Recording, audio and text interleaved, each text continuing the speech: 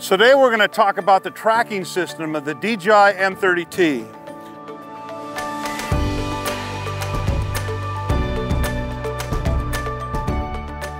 So the tracking feature on the drone can be used in multiple different ways.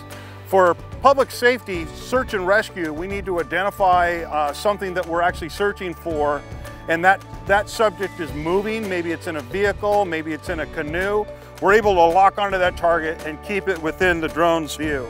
The first thing we need to do when we go into the tracking system and go into the zoom camera. Once we go into the zoom camera, we hit our tracking feature, which is over to the left.